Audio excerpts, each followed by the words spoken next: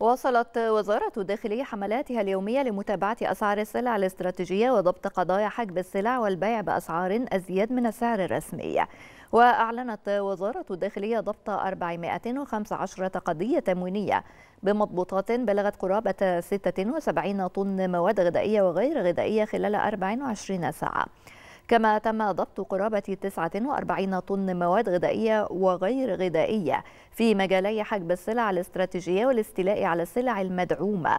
بالإضافة إلى ضبط قرابة 30 طن مواد غذائية وغير غذائية في مجال عدم الإعلان عن الأسعار بقصد البيع بأزيد من السعر الرسمي.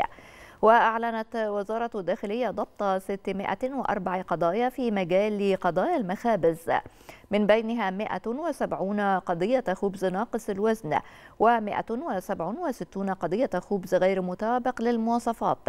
فضلا عن ضبط عشرة قضايا بمضبوطات بلغت أكثر من 89 طن أقماح محلية في مجال ضبط مخالفات التلاعب بمنظومة توريد وتداول القمح المحلي.